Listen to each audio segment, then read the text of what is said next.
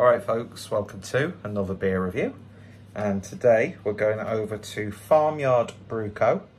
And this is a look at their Splish Splash Session IPA. 4.5%. Um, with a little help from our friends at the Northwest Beer Appreciation Society, we brewed this session IPA packed to the gills with Citra, Mosaic, Sabro and Motueka for a citrusy, tropical and floral profile with low bitterness to let that fruit shine through. Pairs well with bubble baths. And with the weather that we've been having recently and the fact that we only have a shower now, I won't be taking any bubble baths anytime soon. Although there's nothing wrong with bath, bubbles, maybe a cheeky bath bomb and a couple of beers. So I'm looking for the artist credit on this because I've got to say that is a beautiful, beautiful label. A really nice sort of, what do you call that, abstract painting? I'm not too sure. So yeah, Splish Splash. I get the reference now, the bubble bath. But it's not a Saturday night, it's a Friday evening. So, um, yeah, I've not had anything from Farmyard for a while. I think the last thing that I had was, or on camera at least, was, oh no, I, I'm sure I had a collaboration recently. Can't remember when, can't remember where, can't remember who with, can't remember what the beer is. But for some reason, I've got that idea that I've had a farmyard beer not too, not too long ago. But the last one that I reviewed was, is it called Hoof, their coffee stout, which I remember being very, very nice. Because it's a coffee stout, so it's going to be nice. So yeah, Splish Splash and this is what it looks like. I just like saying splish splash because uh, when you really break it down, it just sounds stupid, doesn't it? Gotta love the English language. I've just realised I've left the oven on, even though I cooked my tea fucking oh, swearing for no reason. Um, well over an hour ago, so uh, wasting gas and also adding unnecessary heat into the house. So good job, Peter. Keep it up beer in the glass then, and uh, it looks like tropical fruit juice, like you've cracked open a can of, or bottle of Lilt, which I think is now a flavour under the Fanta name. And I'm like, just keep it as Lilt. Keep the Lilt license. Maybe there's something there that they can't.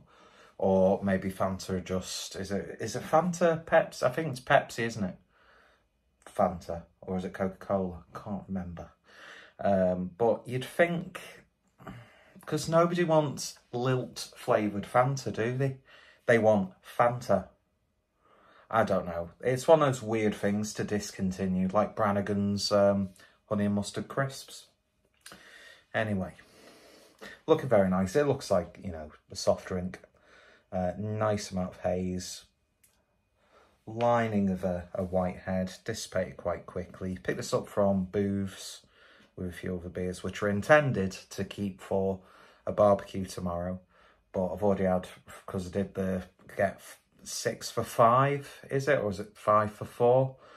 Which they've included the Augustiner Lager Beer Hell, which of course I've got one in the fridge. Had one last night and it was just, what a beer that is. But I've gushed on about that beer so often which I won't do. I was just a little bit gutted he didn't have any um, um, high wire grapefruit because I thought four pack of that for a barbecue, perfect.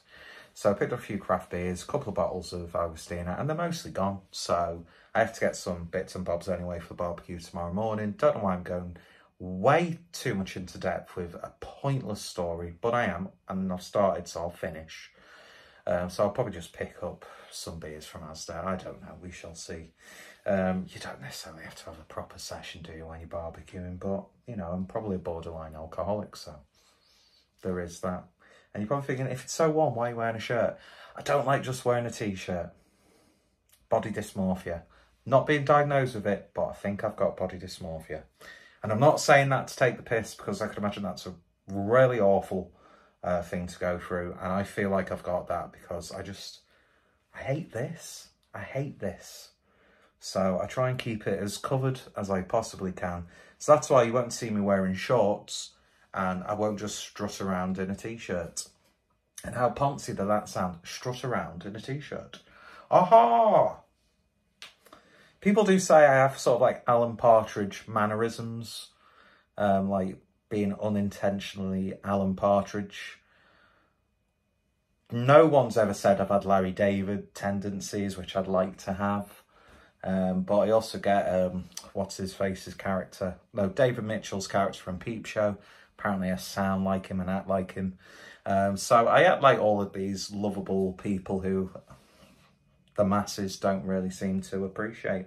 And I think that's where I would class myself as an un, not undiscovered, but an underappreciated genius. And uh, I'm going to stick with that, even though I don't, I genuinely don't believe it, because I'm, I'm just dumpster fire of a person. But I get through life, I'm still here, and um, yeah, don't know where that's gone. Anyway, should we just shut up and drink the beer? I think we should. In fact, no, smell it first. You stupid tit.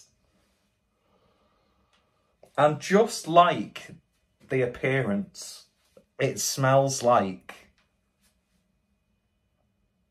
a fruit soft drink. I had to think then what you call them. But yeah, very, very fruity. Definitely herbal coming through now. But that first like initial hit was just like pure sweet fruit juice. It's got that slight coconutty flavour or aroma. Pineapple, very bright, citrusy, plump citrusy fruits. I am a plump citrusy fruit myself. Now I'm just a plump fruit. Isn't that amazing how you can take one word out of a selection of words and it just completely sounds different? But yeah, smelling very, very nice indeed. Fruit bowl. But then there's like a twang to it. Which I'm, I'm guessing is the Motika. Motueka. I can never remember how to pronounce that. Anyway, now we'll take a sip. Cheers.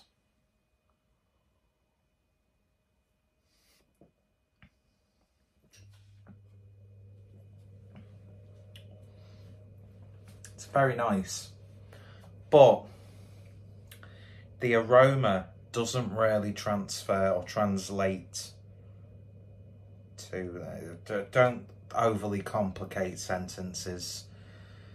It doesn't taste like it smells.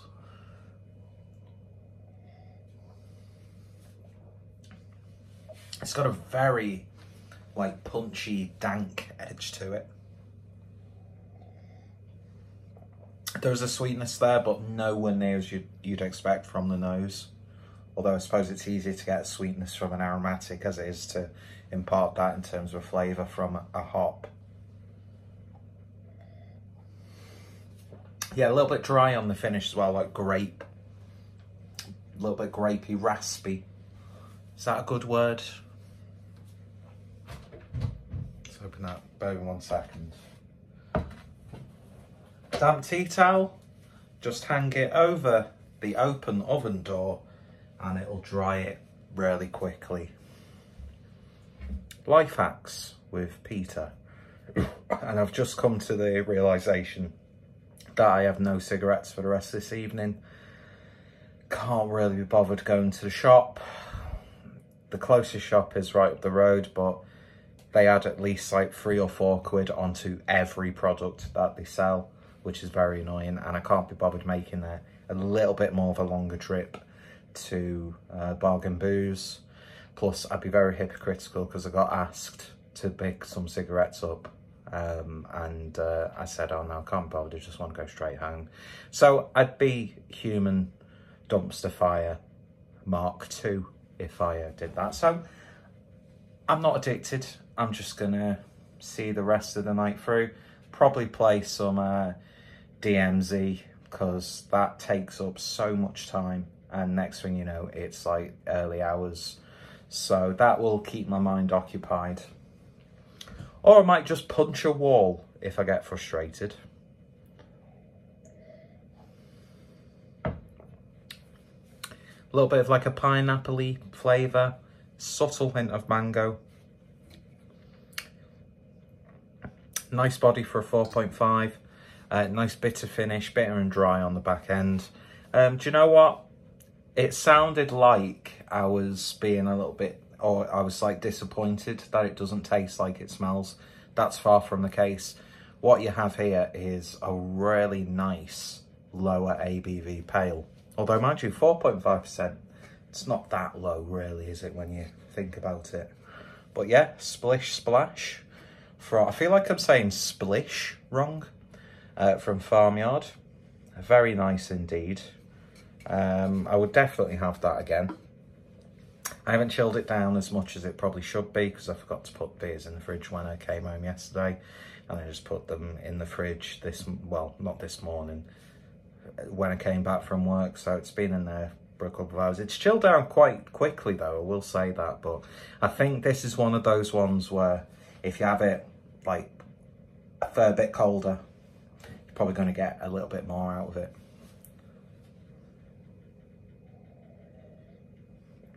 But yeah, very, very nice indeed.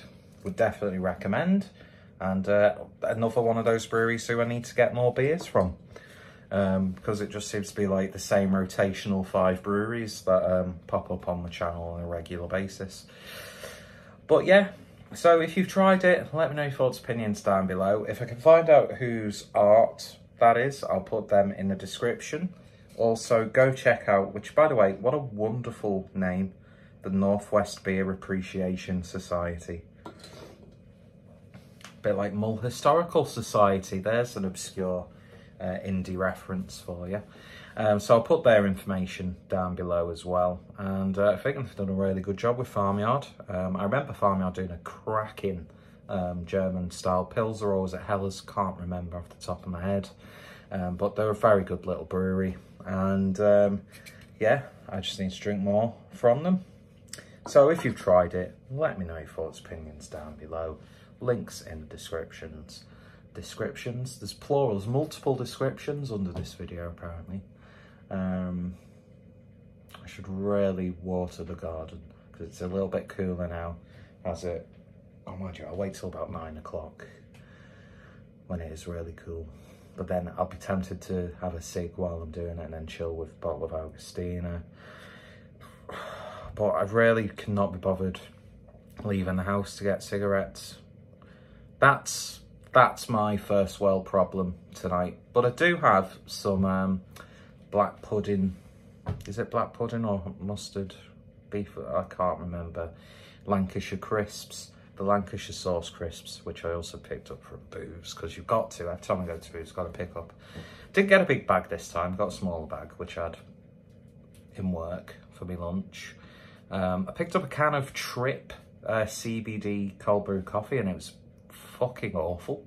Um, I should have known better because I've had the CBD infused like sparkling water and it just tastes foul. Didn't even get any coffee flavour from it and I'm like, what is this mess? Just to get a slight diluted, watered down means the same thing.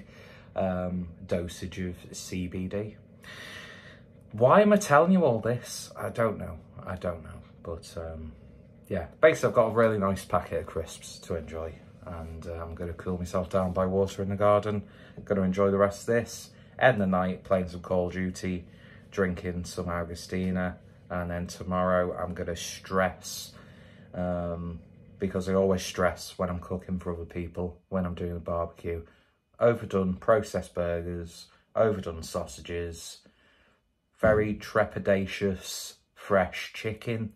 Um, but I never really go all out because it's a really crap barbecue, so why put in the effort? But I put on a good spread and I'm a good host. And uh, I look after people when they come around for food. So you're more than welcome to, to come around. And uh, if it gets bad, there's a really fantastic pizzeria. Well, it's not pizzeria, it's like pop-up place that's next to the Heron Pub. And I've just doxed myself. Fantastic. Anyway, Cheers for watching. You all take care. Stay safe. There was about seven minutes of beer review and then seven minutes of me just talking utter shite. But you love it. Don't deny it. Peace.